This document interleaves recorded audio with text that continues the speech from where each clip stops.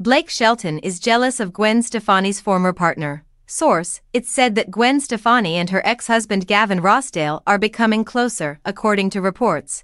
Gwen Stefani's increasing intimacy with her ex-husband Gavin Rossdale worries Blake Shelton, according to a recent Life and Style article.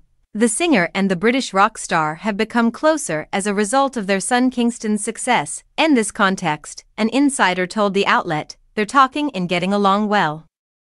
The source went on to say that although the two's growing intimacy is a nice change for them, it tugs at Blake's insecurities. Previously, Gwen considered Gavin to be her true love, so whenever they spent quality time together, laugh, and get along better, Blake gets worried about it, the source added. The source claims that the Purple Irises singer maintained a broad smile while hiding his actual feelings from the cameras.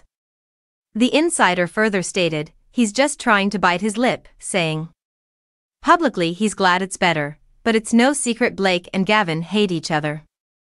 The source concluded just when Blake and Gwen are back on track and everything is going well again, Gavin is breaking in.